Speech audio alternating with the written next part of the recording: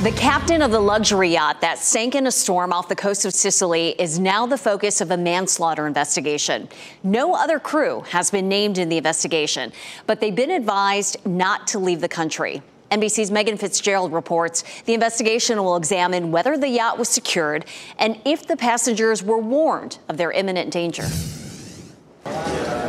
This morning, the search for answers. The captain of the Bayesian super yacht facing a third day of questioning by Italian authorities after the boat sank off the coast of Sicily, killing seven of the 22 people on board. The 51 year old captain, James Cutfield of New Zealand, is under formal investigation by Italian authorities.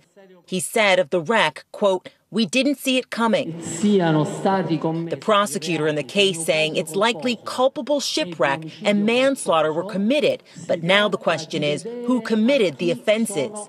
After a multi day search recovered the body of British tech entrepreneur, his 18 year old daughter, along with five others, Italian authorities are closely examining video showing the moments the ship sank last week after being struck by a waterspout as they look into how such an expensive super yacht succumbed to the waves in a sudden storm while other boats nearby remained floating. The CEO of the firm that owns the yacht's manufacturer defending the ship's design design, saying it was designed to be unsinkable, claiming that it should have stayed afloat not only because of its design, but because it is a sailing yacht, which he says is safer than a motorized boat. They are built extremely strongly into the highest international uh, maritime standards. So, getting to the bottom of what really went on um, is going to be critical. Maritime experts say a key focus is if all windows and doors were properly closed, making the ship watertight,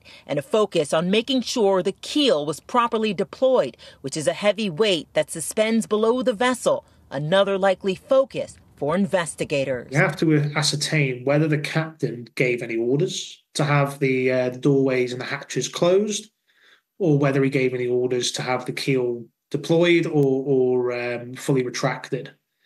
That's where we the investigation is going to, to look at the decision making and the communication. That was Megan Fitzgerald reporting. Now, the cost to raise the yacht falls on the yacht's owner, which is a company belonging to Lynch's wife. Autopsies on all seven victims will be carried out in Palermo this week.